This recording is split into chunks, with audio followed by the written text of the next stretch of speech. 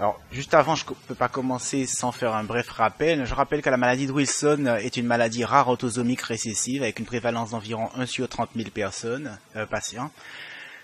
La maladie est liée à une, un défaut de la protéine ATP7B. C'est une protéine euh, du transport du cuivre qui est responsable du routage du cuivre vers euh, la, la céruloplasmine ou vers l'expression biliaire.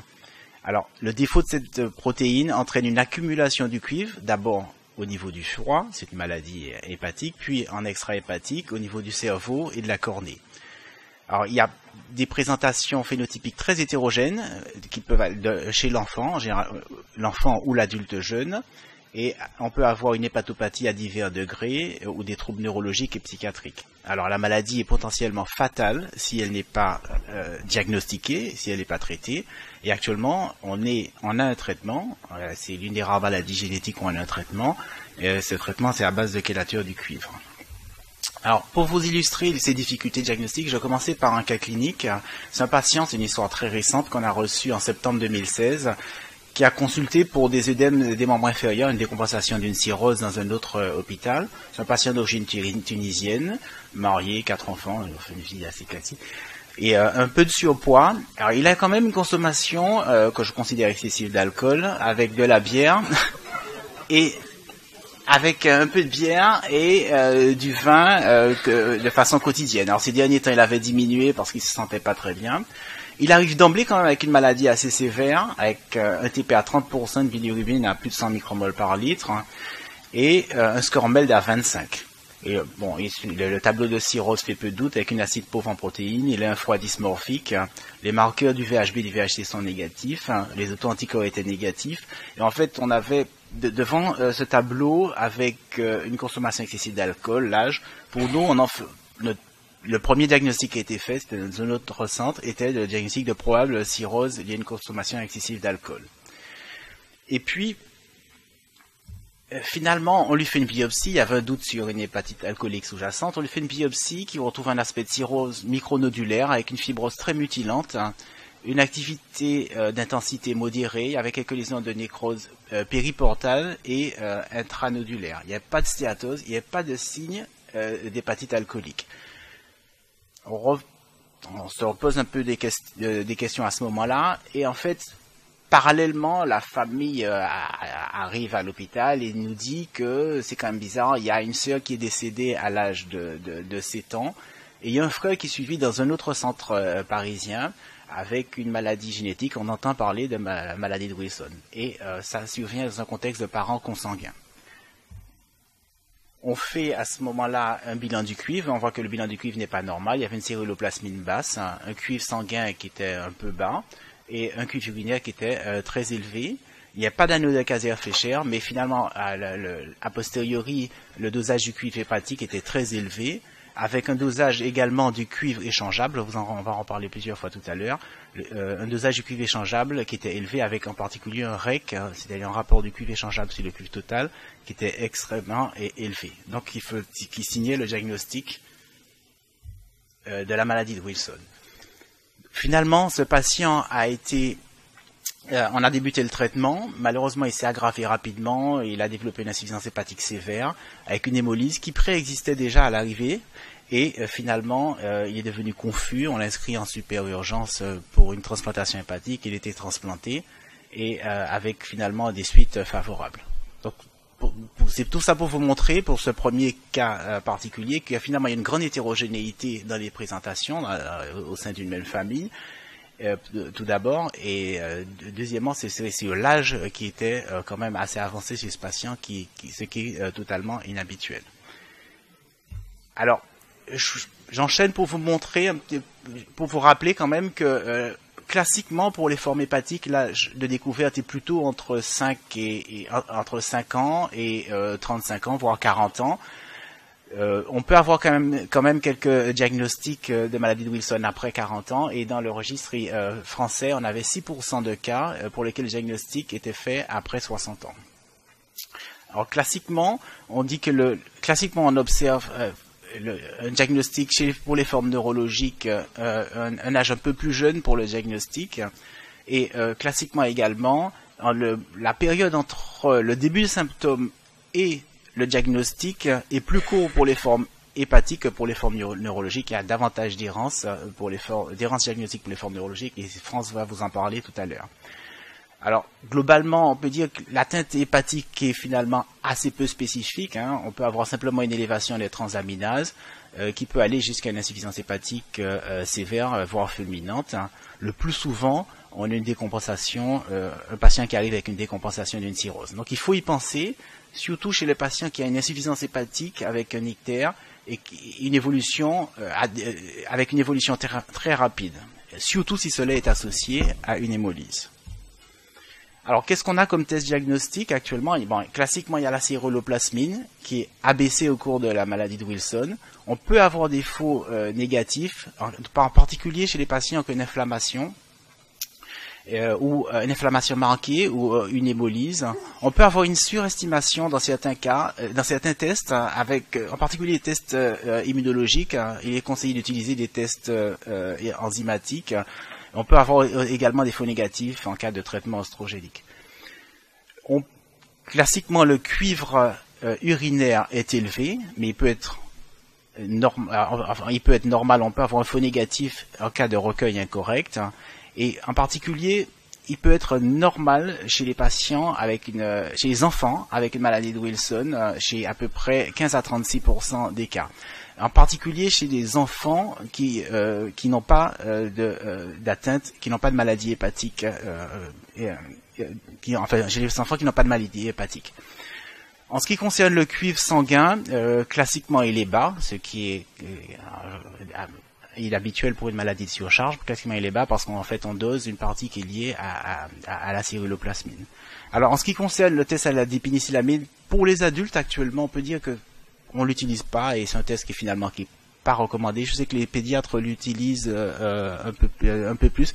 Enfin, j'ai regardé, c'est vrai qu'on n'a pas de dans la littérature, il n'y a pas de, de, protocole euh, finalement clair, mais actuellement, je trouve que nous, on a des tests diagnostiques qui sont beaucoup plus faciles d'utilisation, et finalement, nous, en pratique, on n'utilise pas. je rappelle que la note Kaiser fléchée n'est présent que chez 50% des patients avec une atteinte hépatique, euh, dans les atteintes neurologiques, France va vous en parler, euh, on a, c'est pas la même chose.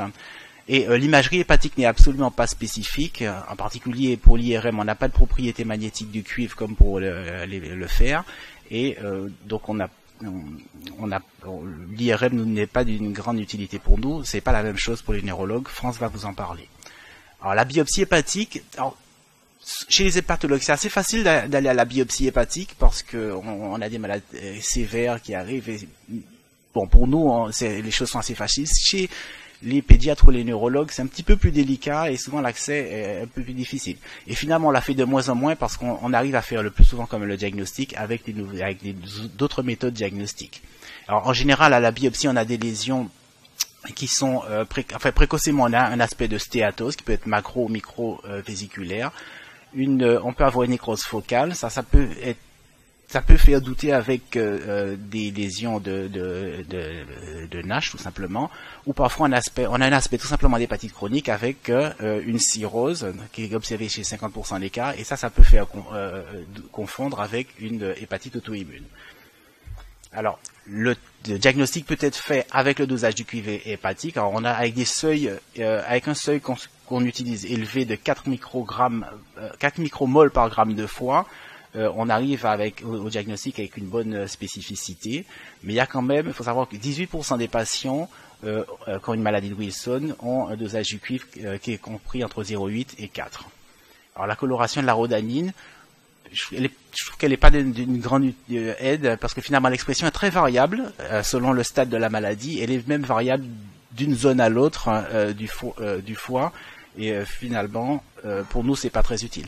Alors juste un petit mot pour vous dire qu'actuellement, il y a, d'autres méthodes de, mesure du cuivre qui sont euh, en, cours d'élaboration. Enfin, on, a récemment dans le service publié des données sur la mesure directe du cuivre, et ça pourrait être fait sur, la biopsie du foie avec des techniques qui sont avec un rendu finalement assez rapide dans, la journée.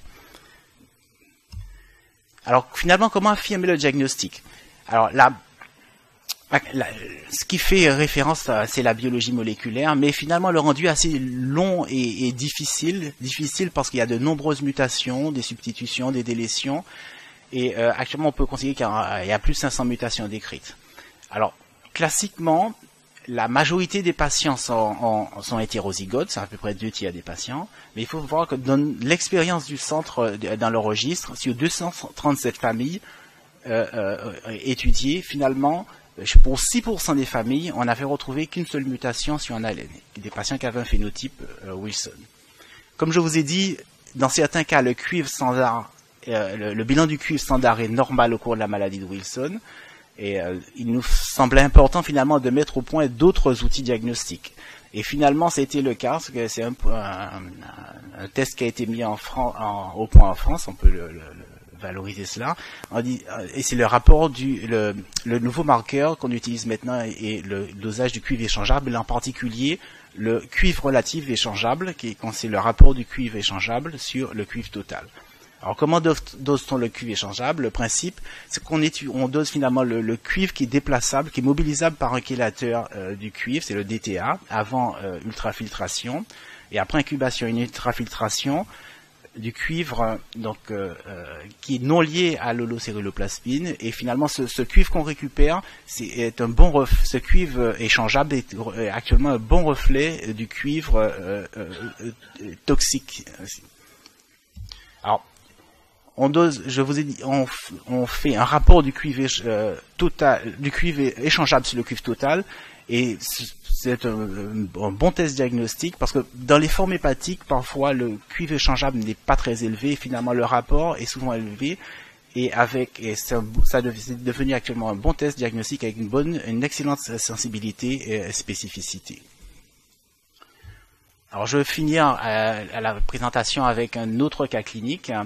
Euh, c'est un patient qui a, euh, chez qui, euh, a des anomalies des tests hépatiques, hein, et ces anomalies étaient mises en évidence dans le cadre d'un dépistage familial. C'est un patient qui a, dans ses antécédents familiaux, sa mère en particulier, qui a présenté, qui été transplanté il y a, une vingtaine d'années pour une insuffisance hépatique fulminante et une maladie de Wilson, avec une mutation bien identifiée. Les parents étaient consanguins.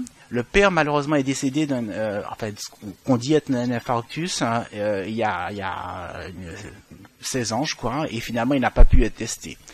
Le frère a une maladie de Wilson, donc c'est, euh, moi, tu parles de Julien, le frère c'est Sébastien, a une maladie de Wilson, qui été révélée par une atteinte neurologique il y a quelques années avec une mutation, la même, il est homozygote comme sa mère, pour la mutation 569. Alors, chez Julien, devant ces anomalies, on fait, une échographie qui retrouve un aspect de foie de surcharge, une fibroscan à 7 kPa. On fait un bilan virologique, euh, un bilan du cuivre et un bilan du cuivre euh, qui est euh, globalement proche de la normale avec une celluloplasmine qui était normale, un cuivre urinaire qui était également proche de la normale. Il n'y avait pas d'anneau de Kayser Fleischer. On lui fait une, étude génétique à ce moment, il y a quelques années, qui retrouve à l'état hétérozygote euh, la mutation qui était retrouvée euh, chez son frère et euh, sa mère. Et finalement, en raison d'un surpoids, c'est un patient quand même qui avait pesé 105 kg avec 1m70, avec un BMI à 36, on avait conclu à une probable hépatopathie liée à une NASH. On lui a demandé, on lui a conseillé à l'époque de maigrir. Finalement, il a perdu quelques kilos, mais malgré tout, toutes ces anomalies persistaient. On lui a fait à ce moment-là un dosage cuivre échangeable qui était euh, euh, normal, avec un, un REC qui était un peu élevé, mais pas très élevé. On, a considéré que c'était probablement lié à, à, l'hétérozygosie. Finalement, devant ça, on a conseillé de faire un nouveau séquençage, et un nouveau séquençage a été réalisé. Et euh, on a mis en évidence, lors de cette deuxième analyse, une autre mutation chez donc Julien, et qui, avec un très probable finalement un diagnostic de maladie de Wilson ce qui fait dire que probablement euh, le père était euh, probablement lui-même atteint euh, de la maladie de Wilson et qui enfin il est décédé ou on ne sait pas très bien de quoi mais il est décédé avant. Donc cette deuxième histoire finalement montre que le, on peut avoir une maladie de Wilson avec un cuivre avec un bilan du cuivre qui est, était qui est normal et, ça illustre très bien également toutes les difficultés de, du séquençage et des problèmes de diagnostic